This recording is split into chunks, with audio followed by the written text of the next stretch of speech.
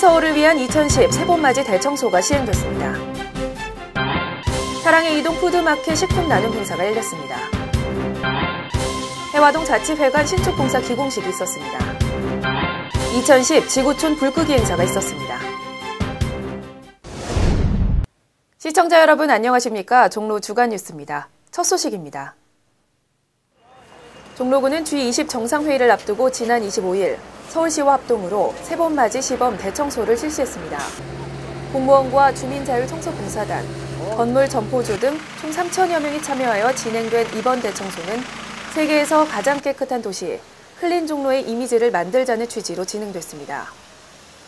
아침에는 너무 힘들었는데요. 막상 나와서 쓰레기 줍고 하니까는 기분이 너무 좋네요.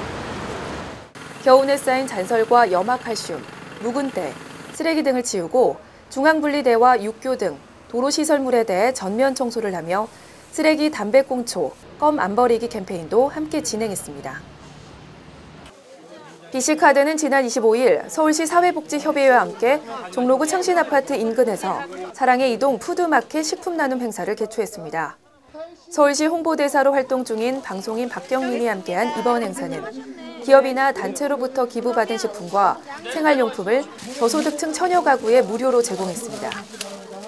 차고지장, 된장, 구청에서 이렇게 우리 저소득층 사람들 관심, 생활 관심에서 이렇게까지 해주니까 정말 감사드립니다.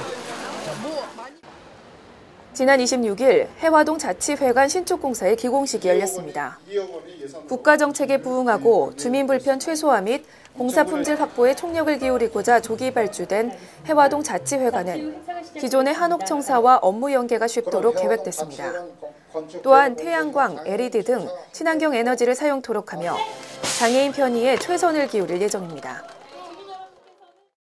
서울시는 지난 27일 밤 8시 30분부터 1시간 동안 지구촌 불끄기 행사에 참여했습니다.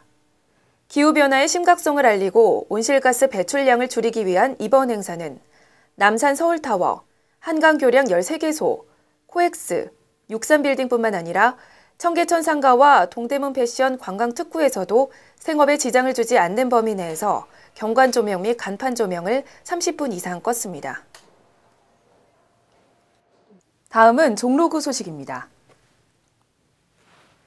명륜 삼가동 자치회관은 4월부터 어린이 연극 놀이학교 프로그램을 운영합니다.